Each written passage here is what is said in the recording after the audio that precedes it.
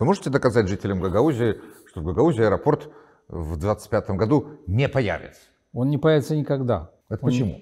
Он не появится никогда, потому что нет никакого экономического смысла. Я, например, э, видел э, с десяток прожектов про Бельцы, про где существует как бы Маркулеш? Маркулежды вообще там столько, и стонческий и прожект. Это прожекты, потому что и Кишиневский аэропорт, он, он э, не столь востребован и так далее. Но это чисто бизнес. М, Во-вторых, э, что такое сегодня инфраструктурные проекты аэропорта? Это, это даже не 200 миллионов, о котором он говорит, это значительно больше деньги, большие деньги. Но откуда, как? И в-третьих, э, где э, он собирается ставить аэропорт на границе с Украиной, земли нет. и друг- Ну, это даже не стоит обсуждать. Это же не колесо обозрения или качели, которые вон там в Архее. Это все-таки мы говорим аэропорт. Просто люди в Гагаузы поверили в какой-то там безумные сказки, которые он им рассказал.